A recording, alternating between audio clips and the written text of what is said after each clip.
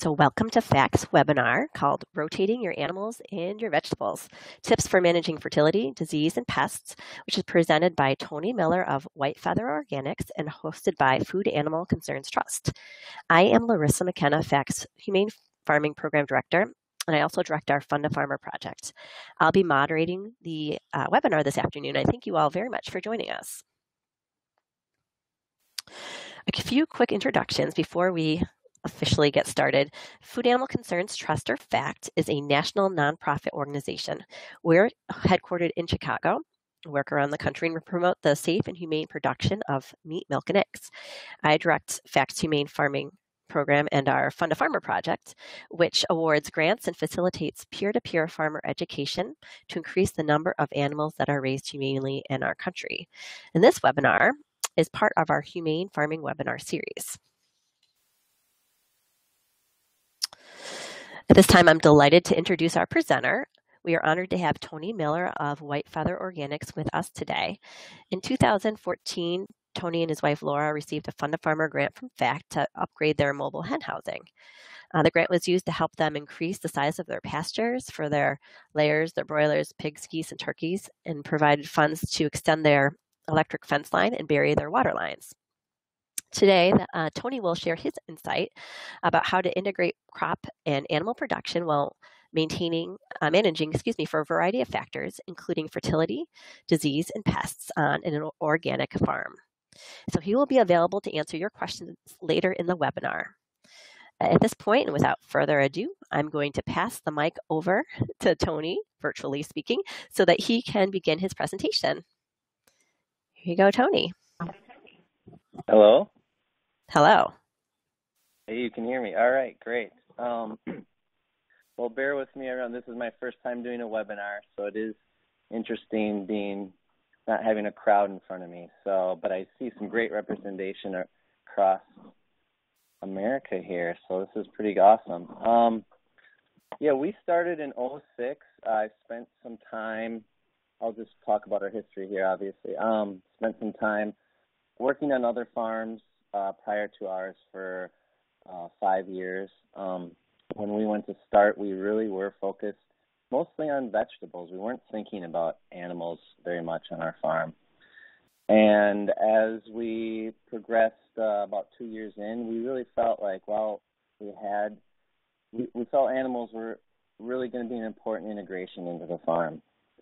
So with that, I asked uh, quite a few other friends that had experience what what would be a good animal for us to start out with? And um, that ended up being the turkey, um, mostly because it has its own very special day. So that was an easy, at least, um, marketing strategy for our integration of animals. Um, but then since then, we've we've kind of ran through a lot of it. We've raised um, broilers, um, pigs. We've had um, dairy out here and beef. Um, cattle.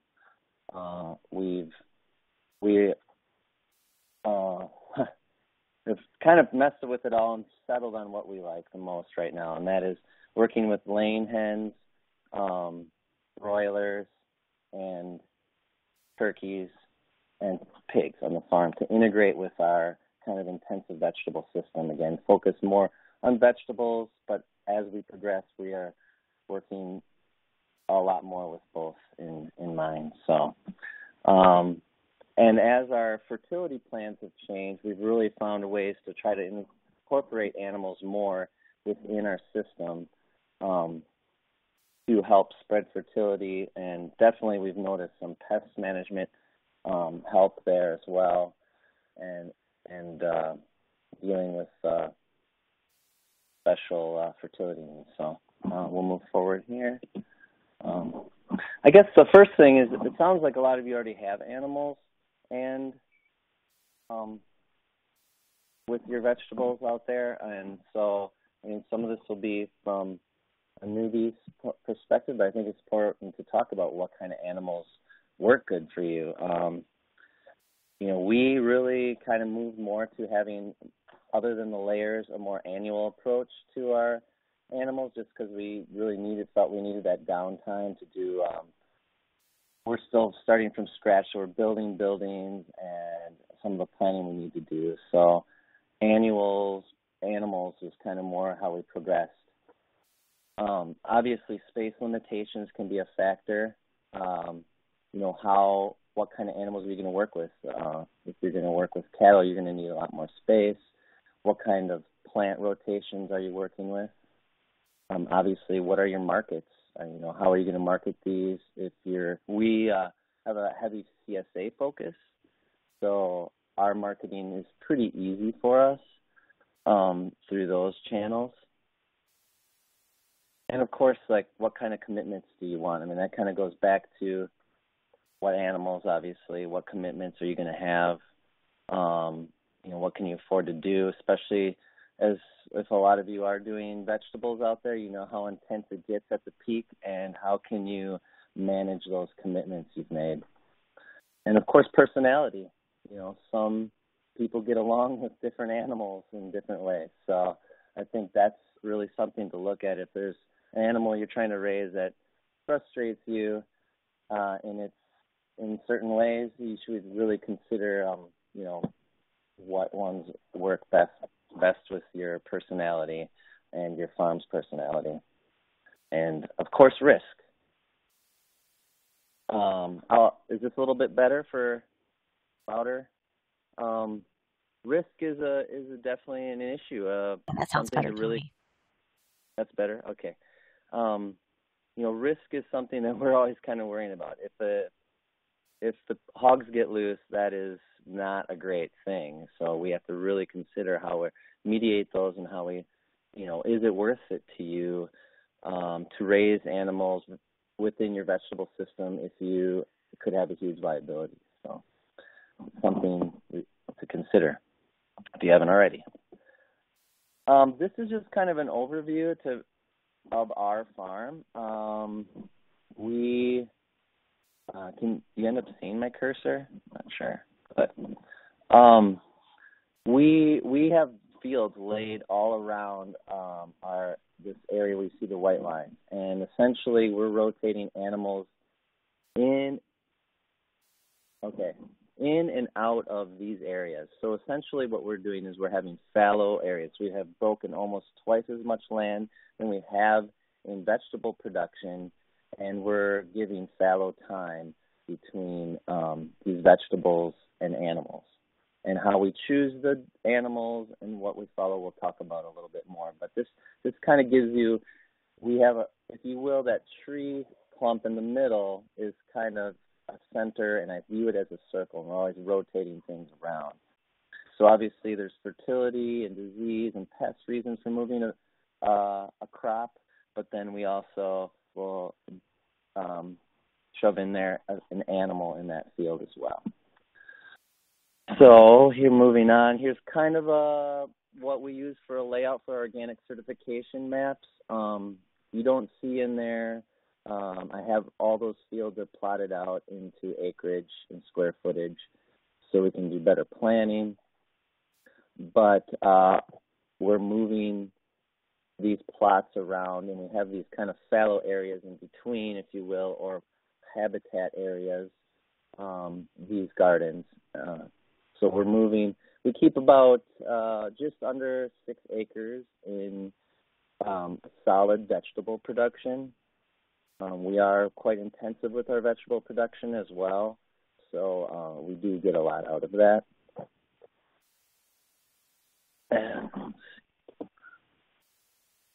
so if you're going to rotate in these patterns, um, you know, obviously with our land, we have this rolling moraine and kind of awkward tree rows to work with in a way.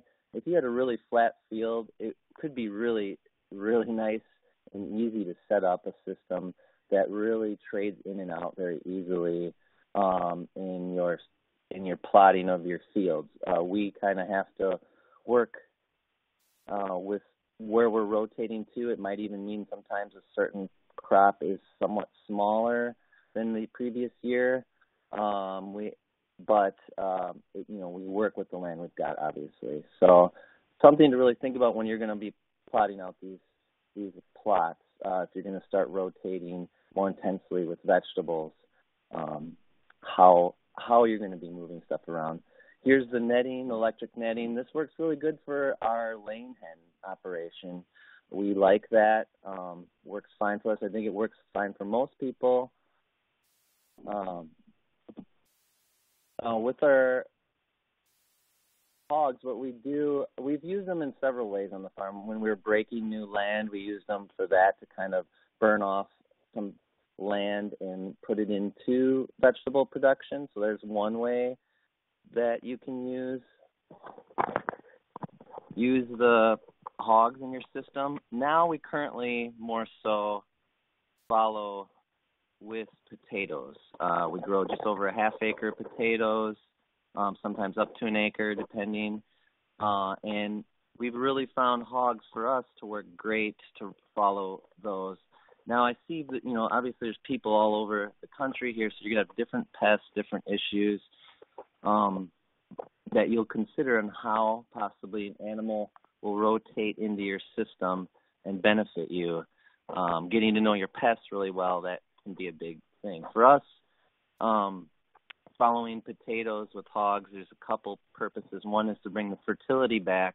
The main one is to um, do pest management. We have the the Colorado potato beetle, which is pretty serious pest for us.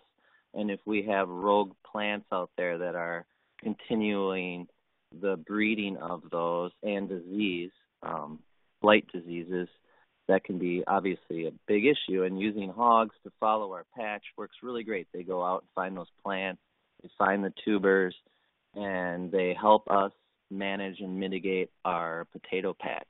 So that's one way we really like to use the hogs now. Um, there's also a cover crop in there. Uh, we start them out in a. You can see Laura's there with uh, two tapes. Uh, we start them with a smaller product that has uh, two tapes, sometimes three, depending how rambunctious uh, the feeders that we get are. Um, we used to farrow sows, but we kind of prefer to just buy um, feeders now, just with uh, our vegetable focus and time again. So we start them out in a small area to get them trained to the fence, and meanwhile, the cover crop that is going in the rest of the the potato, previous year's potato patch is growing, and that gives them a really nice kind of bonus um, feature too to to eat and and graze on as they go. Now they'll they'll stay in our whole area blocked out for the potatoes for their whole season until we take them in in November, and we bring them in in around April. So. Yeah, not after harvest. Um, I should probably I'll field some of these questions later, but I do like getting them while I'm going here. Um, it they they will be entering the the April this April they'll be entering last year's potato harvest. Um, there's rye in there right now. Um, you know, we pulled everything out, seeded rye, and they'll be managing it for this coming season in case there's any rogue plants out there, which there always seems to be. Um, so there was just I just wanted to butt in. There was a question. No one knows. Um, not everyone can see the questions. The question was: So, do you put your hogs on potato har- uh, fields after harvest to clean up pests and and left behind potatoes? Um, and that was what Tony was answering. Yeah, yeah, and and that's I, I don't see anything wrong with possibly doing that. I, again, it's just about finding how they work into your system. Um, but for us, we like to move them in the following spring and get a cover crop growing in there that fall. So, um, and they still go through and find those uh, rogue plants that start growing, or they'll just find the spuds before they even are growing. So, and it, that brings up, you know, clear boundaries. Um, you know, I always like to say, um, it's not if your hogs get out, it's when they get out. So, um, we found that you know, some people there could be some big concern of them getting into a nice brassica patch or the squash patch.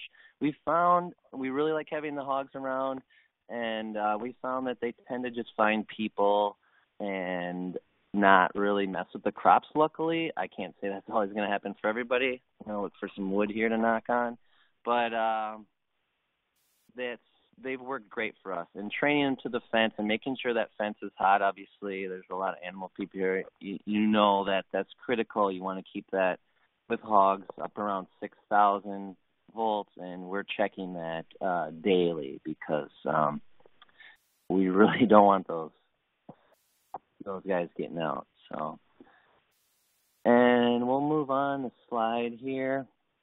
Our turkeys, um, we tend to use our turkeys in one paddock the whole year too. Um, we we've moved actually to a more uh, solid fencing for them. That's just due to um, the kind of we have dogs that roam in the neighborhood, and that's been kind of an issue. That turkeys seem to be way more sought after, but uh, we leave them in a full area that full paddock or previous garden field um, for the whole season as a remediation as well. They come in, they get a nice paddock because they come in uh, right around June. Well, they get into the field about July. So um, we're not raising any heritage breeds. Again, for us, we really like to just buy in chicks and then have we butcher them fresh for uh, Thanksgiving. So that's kind of a niche that we can do is have fresh turkeys for Thanksgiving, and that's that's the animal we start or started out with, and we've always really liked. They're great foragers. Um, they really they get after grasshoppers. Um, they can be really good at mediating certain pests. If you have, um, you know, we have cucumber beetles up here. We have several other things. I see some warmer climate folks. I'm sure there's a lot of different pests out there and and turkeys are really amazing um, insect foragers, and they they will really clean a field well. So that's something to really consider moving in if you have problems and have the space to do. Uh, and this is we've raised broilers a lot of different ways. Um, we've really just come back to for several reasons for the animal safety and, and time and profitability to the tractoring model. And one reason we really like having the tractoring model um, for the gardens is uh, see what they're doing here in this picture is they're they're moving along our orchard, our young orchard, and uh, you can see brassicas on the other side there. Uh, we can kind of we have these developed to the sizes of our beds as well. So if we have an area where we can run these tractors through um, in just a small bed space that prepares for a fall, we find that really helpful. Mostly, um, the broilers are a great fertility source for us. Um, we'll, we'll have a, we do a lot of cover cropping, and they do a great job of foraging that and littering, and that makes a a really great uh, fall carrot, if you will. That's one thing we really like to do with them is prepare land for our fall carrot plantings um, using the tractor method. So, and yeah, so we we raise around 500 boy, broilers. Um, we have 100 turkeys. We do about a dozen hogs and we have a laying flock of 150. So a little gamut of it all there, and we do all of our butchering of turkeys and the broilers on farm. Um, that works really a couple reasons. Luckily, in Wisconsin, we can do that, and when we stay under a thousand birds. And one reason we like that is the quality of the product we can get to people. We can handle the bird right there um, and we get the viscerations. And those viscerations, blood is uh, about 40% nitrogen, and uh, the feathers are um, very feather meal is a, an additive. So we're we're breaking those down. It takes a long time to break feathers down, but we're keeping our viscerations on our farm as a fertility um, input as well, and that we do in multiple we compost that we use we're kind of fortunate to have uh, a leaf collection in our local town and then um, someone that grinds shreds it up so we bring that in as an organic um, material uh, not everyone will have access to that i'm sure like straw or hay would work great as your carbon source for breaking these down but um, animal viscerations are are very high nitrogen source, so you're going to want uh, you know a fairly large amount of carbon, uh, around 70% of a carbon ratio with your um, viscerations. And we do that in kind of a layering method and of carbon down, visceration, a layer of visceration, carbon again. Um, again, that can be leaves. That could it could even be wood chips, but wood chips we found take too long to break down, about three years. Um, so otherwise, we get fungal issues with the wood chips in our um, root crops. So we've moved to mostly using the leaves and or hay and straw. Uh, another thing though, when you do have a visceration pile, I don't know if you have a lot of, if you're like our situation, snoopy neighboring dogs are probably uh, one of the biggest problems we have with our uh, composting method there. So we've then had to come with layering um, about three feet of either finished compost is what I prefer to use. If you have soil, you might want to put some soil on top. They'll just they can smell that and they'll burrow through and make quite a mess uh, out of your compost pile. So we've we usually put about three to four feet of finished compost on top of ours. Um, yeah, well, I shouldn't say yeah, about two feet, I should say, but our piles are as high as five feet high and about four feet wide. So you just need a nice, really strong cap on that so that um, you're not getting stray dogs, if you will, um, messing with your piles. In our experience. So probably the biggest question, and you and you probably see this if you're messing with vegetables a lot, is um, the food safety um, issues. And of course, that is a very important thing. I still feel very strongly that animals are a very important part to integrate into a farm. So we've kind of given ourselves um, rules. We make them very clear to any employees. Um, if someone is dealing with the animals, uh, they typically Laura deals with the animals in the morning. If we have someone else do it, we're very clear that um, the clothing you have on cannot then get in contact with packing vegetables or anything like that.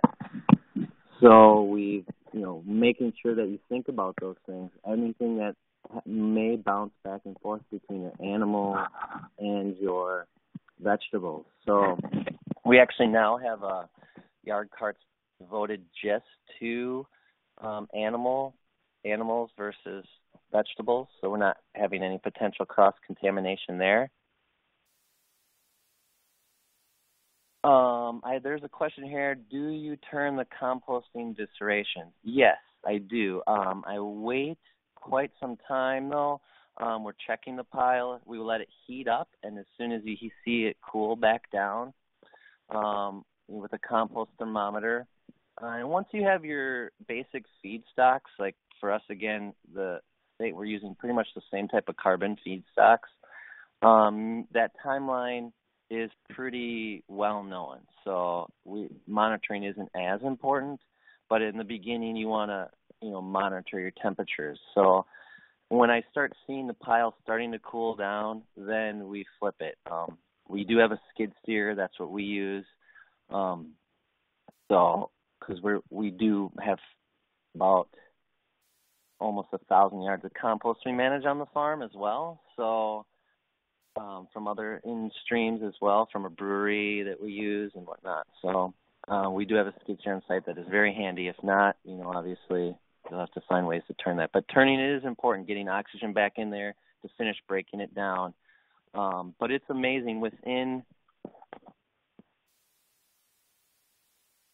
uh, within a season you can even break down bones. Uh, the the poultry heads are completely disintegrated. Uh, you know, I'm, it's uh, if you operate it properly, you can break down viscerations within a year, no problem. So.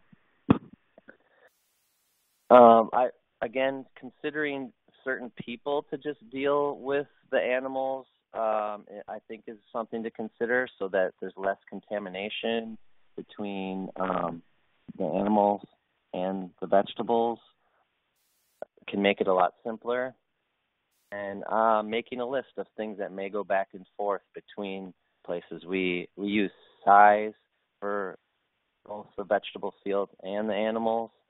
Um, we you know any tools that may bounce back and forth, we make sure that they are clean and, and sterilized if that's the case. So I think this is a very important part. If you're going to go back and forth with that, um, having a plan like that is important, especially with the new FSMA um, rules coming through around. So, and yeah, let your animals do the work. Uh, those compost piles, when we have one, a compost that's finished and the worms have moved into it, uh, one thing we like to do is make piles in the laying hen areas.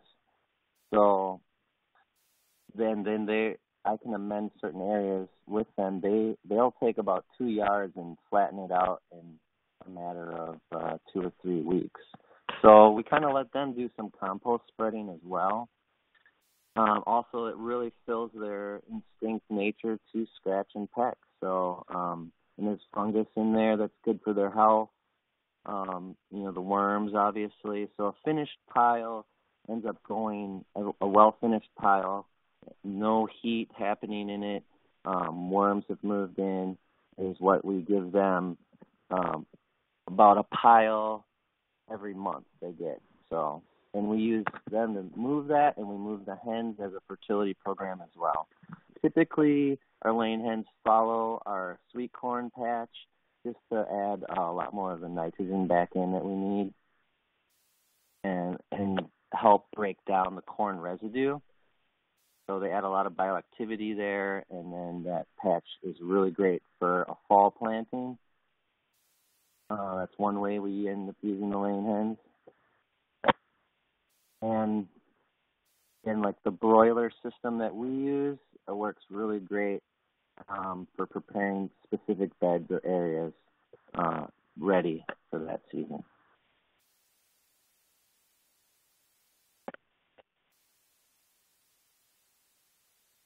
So some of the uh, considerations we've really talked about a lot of them. Um, you know, the pest loving. Like when you're setting up your fields for uh, how you're going to move an animal in or out, we really consider is there a pest that's giving us a problem, and how does that animal or how could that animal uh, mitigate that pest? Um, can it root it out? Will it hunt it at a certain time when it's actually prone to um, merging from the soil. You know, so that's something to think if you have a pest that's a spring pest or a summer pest, and you know when are you going to have that animal and what age is that animal going to be when it's in that area that it could do work for you. Uh, the disease again too. We've talked about that. How the hogs have actually really helped a lot with our um, diseases in potato management. Um, and again, fertility, we found the more that we've increased our fertility in our land, um, more disease resistant the plants seem to be. So that's another way to look at that. Um, and then following crops that have different fertility needs and what kind of fertility is the animal leaving for you. Um, you know, if it's a crop that needs more nitrogen or phosphorus, um, you know, and there's obviously a lot of other nutrients to be thinking about, but uh, poultry manure can be really good with replenishing phosphorus um, and nitrogen. Now we have we are doing more testing on our soil since we've implemented more of these rotations and tweaked our rotations. So we have, you know, it's kind of an evolving thing. Constantly do soil tests every year and see how you know where you're headed with the animals you're using. Um, it's it's pretty interesting to see how you can um, prepare a field needs with animals. So um, it's been a work in progress here. so,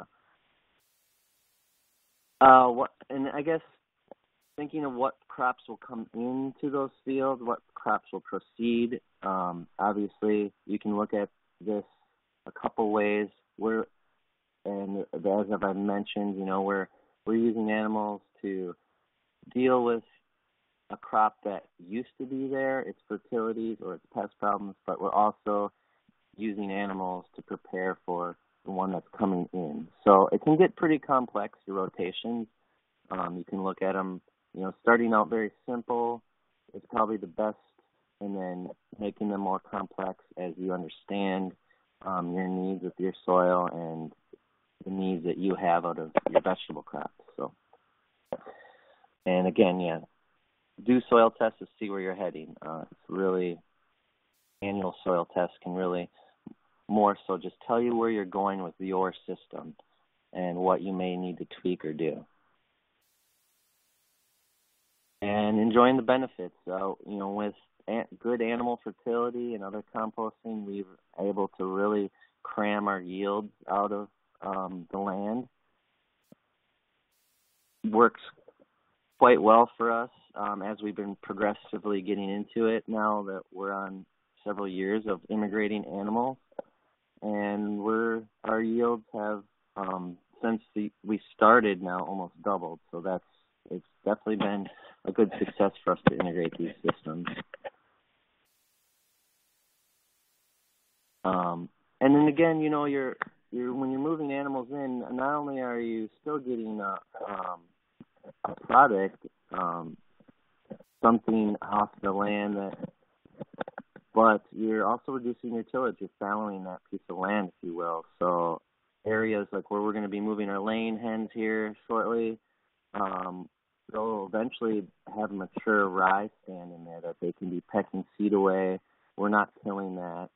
Um, you know, we try to work some of our cover crops in a way that there is um, mature seed in there at some point for them too. So you can really think of it a lot of different ways. And the reduced tillage is definitely a huge advantage um, of giving your field some breaks and yet getting some animals through there. So it's definitely well worth it.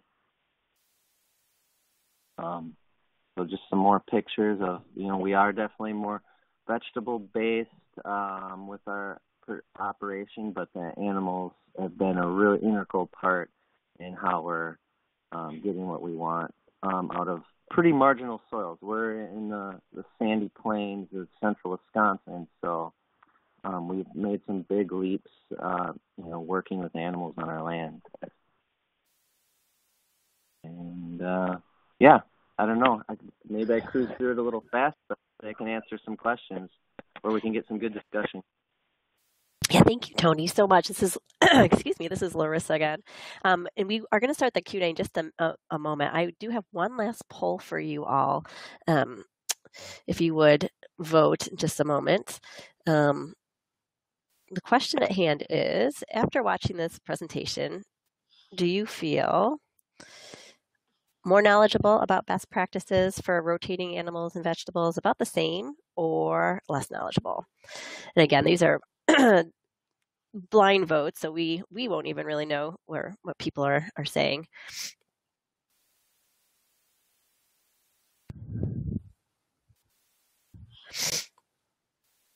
I'll just take another minute or so to allow folks the opportunity, but the looks like the majority of people are feeling more knowledgeable, which is great, of course. Okay. Thank you very much. So we are um, ready to take your questions. We have probably about, what, Tony, 10 minutes or so? I want to make sure uh, that we have a little yeah. bit of time for questions, but I know I don't want to go over too long. Um, so if you would, please type in your questions on the left side of the, the screen, and I will read them aloud so everyone can, can hear them, and then um, Tony will, will answer.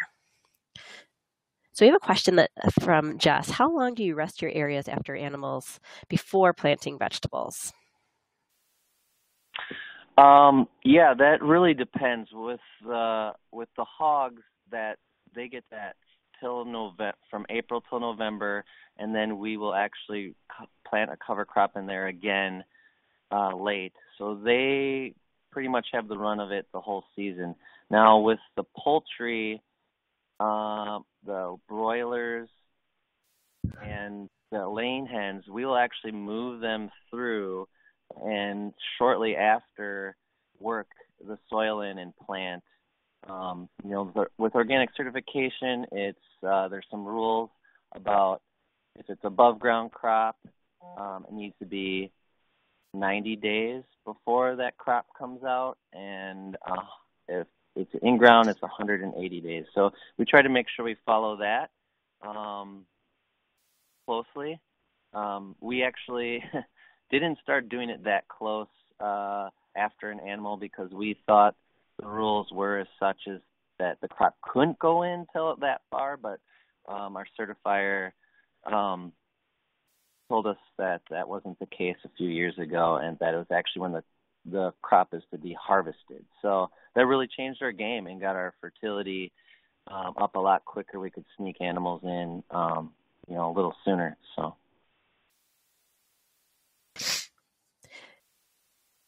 And I have a question for you, Tony. Um, how did you come up with your sequencing? Was it mostly trial and error, or was it based on, um, you know, uh, expertise from from other, you know, network farmers? Or um, I know you've been tweaking it along the way, but I'm just curious about um, how you came up with your following, you know, all your ordering. Um, yeah, I guess to be honest, it's been more trial and error than anything. Um, yeah, the the hog the hogs with the potatoes was uh, two years ago, and you know, just it takes a lot of time to implement these really because you you you know you come up with the idea and then you have to really wait a whole another year to you know see the it, try it see the results. So it's been quite a few years until we've you know i'm still learning a lot on where we want the animals and when. Um the turkeys we're still kind of messing with learning a bit with them, but uh, um, yeah, it's been mostly trial and error on our part. Um, but then also learning uh, on what kind of fertility man- the manure of the animal actually has. So that's been something we've been actually reading more and learning from other resources. So. And, and, there's actually a kind of related question is how do you figure the nutrient contribution of the laying hens in particular?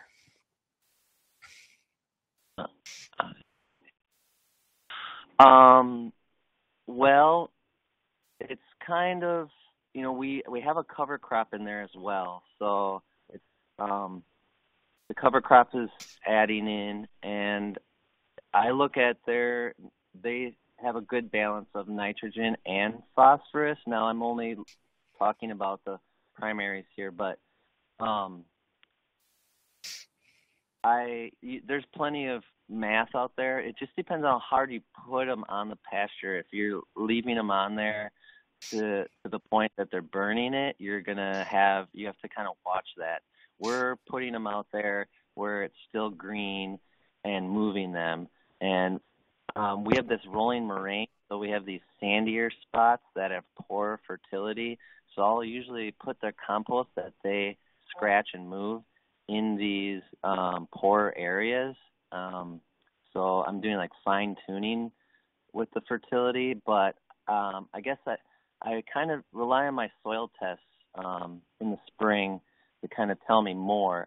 Uh, I couldn't give you the exact readout of what's happening after an animal, but um, you know, it's uh, the results kind of show. So.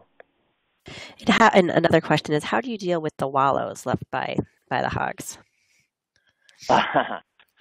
Uh, yeah. Um, well, w- one nice thing about the pigs is they pop all the stones out. So we first go through and grab that. And then the wallows, we end up either by hand shovel or, um, you know, my skid steer, I'll, I'll kind of clean an area up that they've made a big mess of. But we try to promote them to wallow in one particular area and then the rest of it's running around so um, we found that if we give them enough space, they tend to not make large uh, wallows, you know, all over. If that makes sense, and do it in one area where we add water, we kind of give them water to wallow. Yeah. So then we're not, you know, dealing with wallows all over the field. It's typically concentrated. So.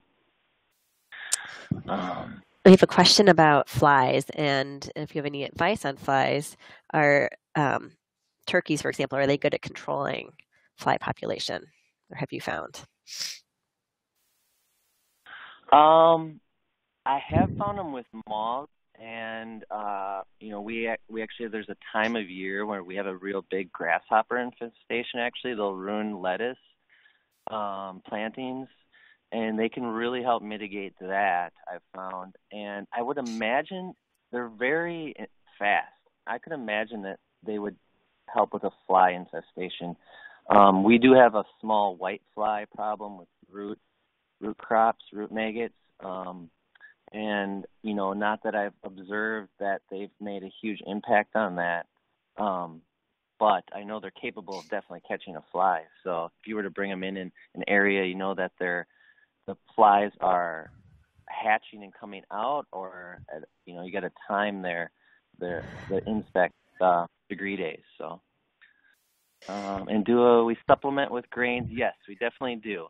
If it's one one we definitely have grains in there. We're trying to, you know, with the cover crops and such, mitigate how much and help them with more nutritious um, diet. But definitely, we are using grains, and those grains are converting then again um, manure crops for us. So uh, fertility through their manure. So um, we are bringing in grain. We have, and we have one last question. I think we can get to is: Do you use um, guardian animals to protect your poultry? Uh, uh, we have we haven't had too many problems with we have the electrified netting for the laying hens, and then we have thanks to FACT we have the automatic door for the poultry um, for the layers, and that really helps with the hawks and the owls, getting them in and out during the twilight. Um, but as far as uh, guardian animals, we have a big problem with turkeys, and we are looking at integrating a dog um, that would stay with the turkeys permanently because we've had like over the years just good years and bad years and uh, all over the board. So we are definitely looking at. We tried geese, guardian geese at one point, and that kind of helped, but uh, we're looking at uh, incorporating a dog now that would stay out there. So. How often do you move the layer? the boy, the broilers move twice a day. The layers are moved.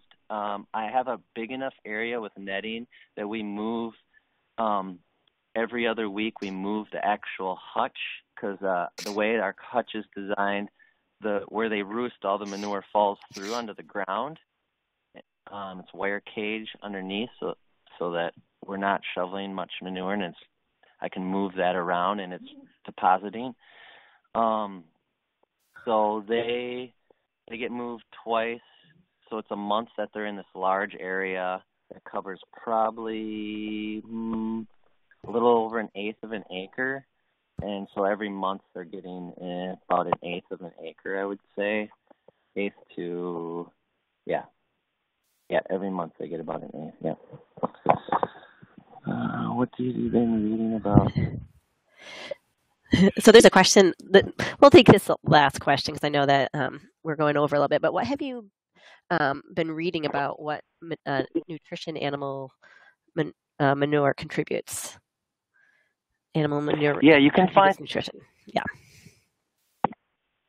Uh, to nutrition. Yeah, that's um, you can find a lot of good articles in that in different ATTRA. Um, if people are familiar with ATTRA, there's a lot of articles in there that you can sift through and find. Um, you know, it's very it's it gets the biologicals going in the soil too.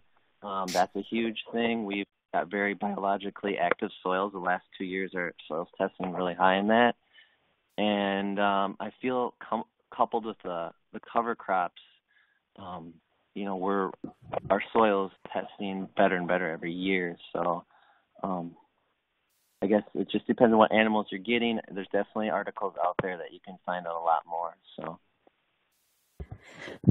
Well, thank you so much. Thank, uh, I think that's all the time we have this afternoon. Um, if there are other questions, um, we'll be happy to answer them offline. But a recording of this webinar will be available soon and it's going to be archived on our website, and I'll also email it to you all, uh, most likely tomorrow.